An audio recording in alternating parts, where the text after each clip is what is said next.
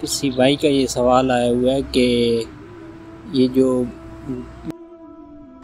जो film launch हुई थी कुछ अर्सा पहले मसीहा के नाम से तो वो किस यानी एजेंडे के तहत थी? वजरत ईसीम के मतलब थी या किसी ख़ास एजेंडे के तहत वो जहन साजी के लिए लॉन्च की गई थी? आ, ये फ़िल्म या कोई सीरीज़ आई थी अभी पिछले अरसे में मसाया के नाम से।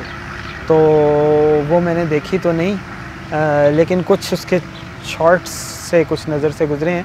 उससे तो यही पता चल रहा है कि वो दजाल के बारे में है और दजाल की मतलब जो उसमें चीज़ें दिखाई गई हैं बिल्कुल चंद सेकंड्स के मेरी नज़र से गुजरे। देखें जब ना दजाल आएगा तो आप वसल्लम ने उसके सामने जाने से मना किया है। क्योंकि जो भी उसके सामने जाएगा उस मतलब वो मुमकिन ही नहीं होगा उसके लिए कि वो आ, बच सके दज्जाल से। उसका स्पेल ऐसा होगा वो नर्व्स पे जो है ना वो आपके आप आप अपने उसमें अपने आप में नहीं रहेंगे वो आपके नर्व्स पे हावी हो जाएगा। आपके दिलो दिमाग को ना कंट्रोल करके आपको ज़बरदस्ती ताबे करवा लेगा।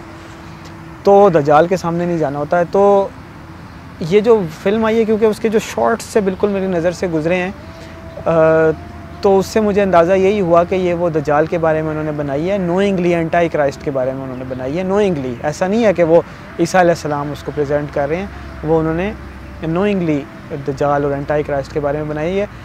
तो मैंने इसलिए नहीं देखी और मैं इसलिए उससे बचाऊँ कि वल्लम ये प्रोग्रामिंग हो सकती है दजाल के आने के लिए। और हम क्योंकि पहले डिस्कस कर चुके हैं कि दजाल दुनिया में यकीनन आ चुका है, उसका टाइम हो चुका है। सारी कैलकुलेशन और अंदाज़े यही कहते हैं कि दजाल पैदा हो चुका है। और वो किसी भी वक्त ज़ाहिर हो सकता है, ठीक है, उससे पहले इमाम मदी नहीं आना है, लेकिन ज़ाहिर है जब वो पैदा हो चुका है तो वो अपनी एक्टिविटीज़ और हरकतें कर रहा होगा और आई बिलीव कि वो अपनी, उसकी एज भी इतनी छोटी नहीं होगी ट्वेंटीज़ में होगा मेरे हिसाब से।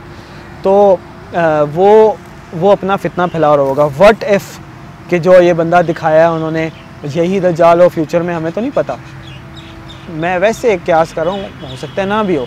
लेकिन अगर दजाल आ चुका है और जो एक एक्टर है, उससे इन्होंने ये सारा काम लिया है या जो भी किया है तो अब मसाया के नाम से उन्होंने बनाई है तो वो माइंड प्रोग्रामिंग भी कर सकते हैं, लोगों का माइंड बिल्डिंग भी कर रहे होंगे कि ये आपको फ़ायदा पहुँचा सकता है, आपको ये फ़ायदा देगा, दुनिया में आपको दौलत मिलेगी, और जो भी इस तरह के ड्रूल वर्दी चीज़ें देखें हम तो वैसे भी ये वेस्टर्न फिल्म्स देख कर इंस्पायर हो जाते हैं, यूरोप जाने की ख्वाहिश हो जाती है, नवजुबिल्ला देखें। हम कहते नहीं है इसको, लेकिन मुझे और आपको मानना पड़ेगा, ना, जब नौजवान ये वाली फिल्म्स देखता है वेस्ट की तो वो भी उस तरह की सेक्शुअल मतलब एक फ्रीडम डिज़ायर करता है, उस तरह की लाइफ पसंद करता है, और वो ये चाहता है कि काश मैं भी उस ज़िंदगी में रह सकूँ। क्यों? वो दजालियत है, जिसकी तरफ़ नज़र उठा के देखने से इंसान उसमें मुबतला हो जाता है। तो फिर लोग उसके लिए एफ़र्ट भी करते हैं कोशिश भी करते हैं और बाकायदा कई लोग चले भी जाते हैं वहाँ की ज़िंदगी को आ, अपनाने के लिए और वहाँ जाके अल्लाह का शुक्र है बहुत सारे ऐसे भी हैं जो फितने से बचते हैं ख़ुद को महफूज रखते हैं लेकिन कई ऐसे भी हैं जो जाते इसलिए हैं कि उनके ऊपर ये पाबंदियाँ ना हों वहाँ की ज़िंदगी मिले और वहाँ जाके वो दीन वगैरह सब भूल जाते हैं। तो इसलिए जिन भी भाई का ये रिक्वेस्ट है उनसे गुजारिश है और जो लोग भी देखेंगे ये वीडियो उन सबसे गुजारिश है कि अगर आपको इस तरह का कोई कंटेंट कंटेंट मिलता है या इस तरह की कोई चीज़ वेस्ट की तरफ़ से आ रही है तो इसको अवॉइड करें, उसको ना देखें।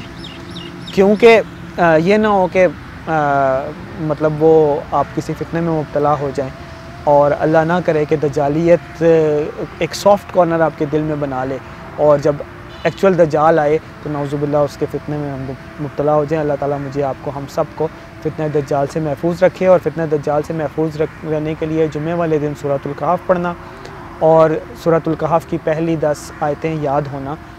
ये अहादीस और रवायात के मुताबिक बहुत मुफीद हैं। ये अगर आप करेंगे तो इन फितना दज्जाल से महफूज रहेंगे।